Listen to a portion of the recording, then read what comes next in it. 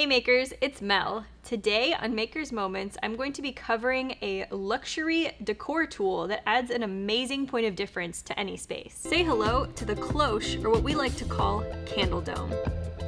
The cloche has its roots in French and European origin, originally created to keep plants alive during the cold winter months.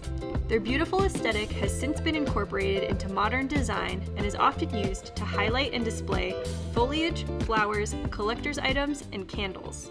When using a cloche for your candles, aside from its gorgeous aesthetic, it also prevents dust and dirt from forming on the top of your candles, keeping your wax bright and clean.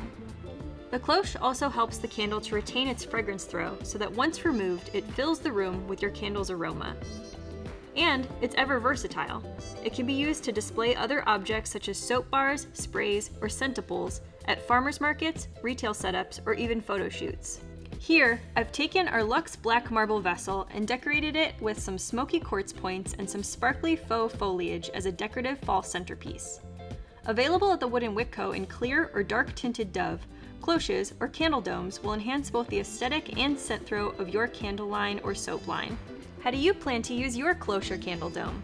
Let us know in the comments below, and be sure to subscribe to our channel to stay in the know on all the latest makers, tips, and tricks.